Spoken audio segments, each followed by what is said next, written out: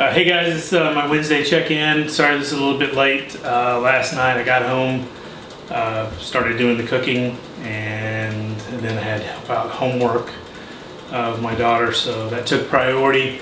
Um, when I weighed in yesterday, I was 227.2, so that's another, um, I guess that's 2.2 pound loss between Sunday and Wednesday. Cumulatively, cumulatively that's a 6.2 pound loss.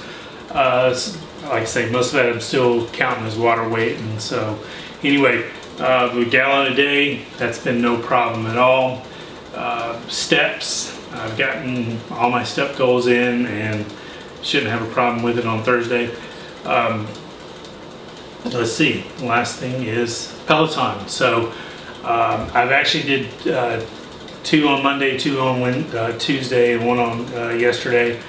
So that's actually more than I've ever done in the week. These have been 45 minute endurance rides. And the endurance rides um, I've done, they really target the heart rate. So my heart rate has been zone two heart rate. So heart rate's been around one, 130 or less. So, and that's actually been really easy, but it's actually good for fat loss as well. Uh, but that's been really easy and, and gentle on the incision. Uh, so that's really helped out a lot. So uh, I've enjoyed those those rides, and but I'm going to see my surgeon here in a few minutes uh, for my follow-up visit from the surgery. Hopefully he'll give me the, hey, go do whatever you want, and then I'll start hitting some other rides.